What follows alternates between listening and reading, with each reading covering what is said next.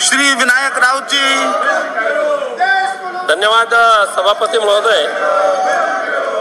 एक, इस सभागृह के पूर्व सदस्य जो पिछली सात बार दादरा और नगर हवेली के क्षेत्र से सांसद के नाते से चुन के आते थे, लेकिन दुर्भाग्य से 35 साल तक जिन्होंने संसद सभागृह में बैठना, जिनके सौभाग्य में था ऐसे सदस्य को दुर्भाग्य से आत्महत्या करनी पड़ी, खुदकुशी करनी पड़ी बिकॉज़ ऑफ़ प्रशासन के कई अधिकारियों ने उन्ना उनके जीवन हराम कर दिया था।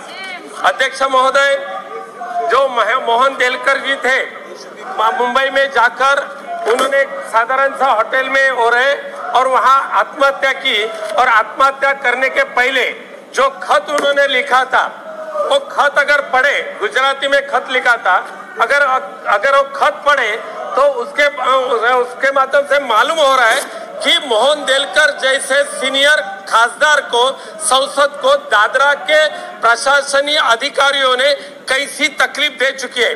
मैं सारे सभागृह के सदस्य को बोलना चाहता हूँ, एक नया सदस्य चुन के आते तो समझ सकते हैं, लेकिन 35 साल जिन्होंने अपने आयु इस सभागृह में रखी थी, ऐसे सदस्य को खास करके खुदकुशी करनी पड़ी। अध्यक्ष महोदय, एक दो मिनट ज़्यादा दीजिए। उसके पहले मोहन देलकर जी ने प्रिविलेज कमेटी में जाकर अपनी व्यथा रखी थी। इस लोकसभा के अध्यक्ष सम्माननीय अध्यक्ष जी को भी उन्होंने खत लिखा था। अध्यक्ष जी ने प्रिविलेज कमेटी के पास दिया। प्रिविलेज कमेटी 12 फरवरी को जब हुई तभी मोहन देलकर जी ने ये सारा लेटर सारे सदस्य को दिया और कमेटी में कहा, अगर ये नहीं आप रोके तो मुझे खुदकुशी करनी पड़ेगी, मुझे आत्महत्या करनी पड़ेगी। अध्यक्ष महोदय, एक सदस्य को ऐसा बताने का वक्त क्यों आ रहा है? और उन्होंने लेटर में लिखा है, एक साधारण सा वहाँ का प्रशासक, साधारण सा कलेक्टर, एसपी, एक 35 साल के संसद को हैरान कर सकते, कोई विश्वास नहीं रख सकता रख सकता है।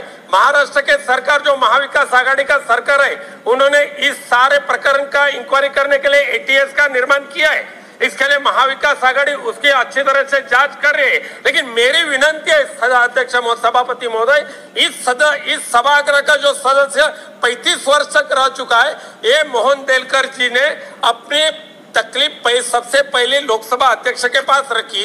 लोकसभा अध्यक्ष जी ने भी उसको न्याय देने का कोशिश किया। मेरी विनंती है आपके माध्यम से प्रधानमंत्री जी को कि मोहन देलकर जी के आत्महत्या के लिए जो कारण है, जो जिम्मेदार है, ऐसा वहाँ का प्रशासक, वहाँ के एसपी, वहाँ के कलेक्टर, इनको सारे को सस्पेंड करे और उनके ऊपर 304 के अंदर कार्रवाई करे, उनके ऊपर फौजदारी कार्रवाई होनी चाहिए और मोहन जी के मृत्यु को न्याय देने की आवश्यकता है। धन्यवाद, अध्यक्ष सभापति महोदय।